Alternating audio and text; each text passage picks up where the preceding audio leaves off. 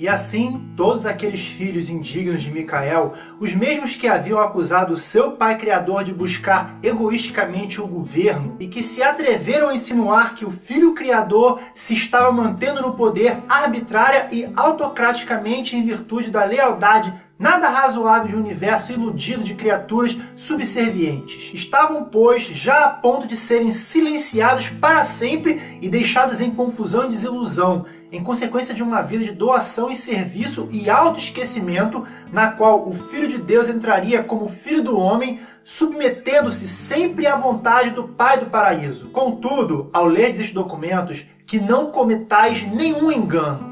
Cristo Micael, ainda que sendo um ser de origem dual, nunca foi uma personalidade dupla. Ele não foi Deus em associação com o homem, mas foi sim Deus encarnado no homem. E ele foi sempre precisamente esse ser combinado. O único fator progressivo em tal relação incompreensível é o do entendimento e do reconhecimento da autoconsciência gradativos de sua mente humana desse fato de ser Deus e homem. Cristo Micael não se tornou gradativamente Deus, e Deus não se tornou homem em algum momento vital na vida terrena de Jesus. Jesus foi Deus e homem, sempre e para sempre. E esse Deus e esse homem foram e são agora um. Do mesmo modo que a trindade do paraíso de três seres, na realidade é uma deidade. Nunca percas de vista o fato de que o propósito supremo da auto-ortoga de Micael foi o de acentuar e engrandecer a revelação de Deus. Os mortais de Urântia têm conceitos variáveis sobre o miraculoso.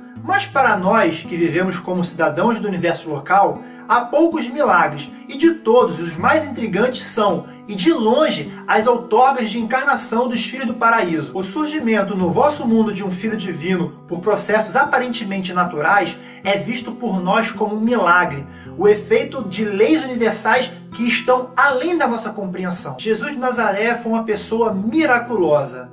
Nessa experiência extraordinária e por meio dela, Deus, o Pai, escolheu manifestar-se a si próprio, como ele sempre faz, de modo habitual, pela via normal, natural e confiável da ação divina.